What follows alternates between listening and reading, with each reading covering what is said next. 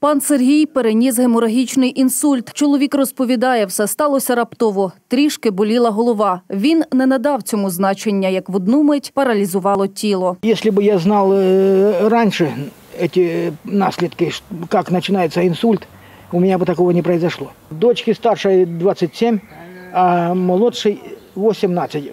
Было 22 февраля, вот м- тоже молоденькая м, доча. Сумуєте за ними? Конечно. Вони до вас приїдуть, напевно.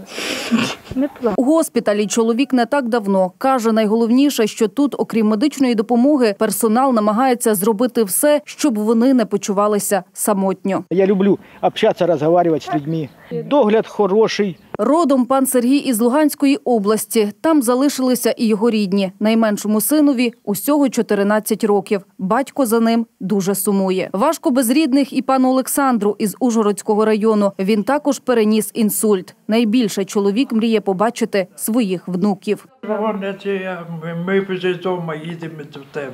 Рідні можуть навідуватися і навіть якийсь час перебувати в хоспісі, розповідає головний лікар закладу. Адже для цього тут обладнані гостьові кімнати. У нас э, предусмотрены комнаты для того, чтобы находились родственники, потому что в ряде случаев пациенты хотят, чтобы вот им приготовили только это.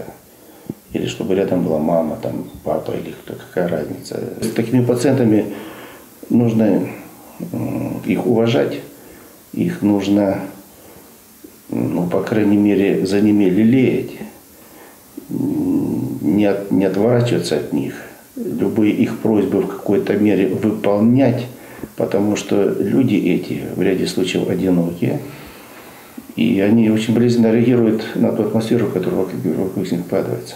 Поки що у хоспісі п'ятеро хворих. Розрахований він на 25 ліжкомісць. В данном случае у нас из пяти человек трое инсультных.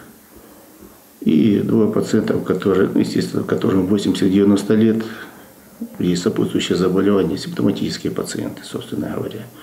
И на очереди у нас сейчас уже готовится к госпитализации несколько онкобольных, которым, к сожалению, уже помощь не могут оказать в учреждениях, в онкологической клинике тем более. То есть это пациенты, которые прошли оперативное вмешательство здесь или за границей, которые прошли химиолучевую терапию, которые имеют ряд побочных эффектов, но они жить хотят, и мы обязаны им продлить жизнь. Сюди не приходять помирати. Тут до останнього борються за життя кожної людини. І все необхідне для цього є. Сучасне обладнання, а найголовніше – хороше ставлення до таких людей. Адже їм, як нікому, потрібна підтримка, розуміння і увага.